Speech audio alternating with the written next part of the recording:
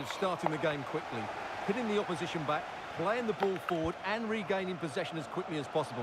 Hopefully... A glorious chance. Oh, A goal in the early stages. Precisely what they had been.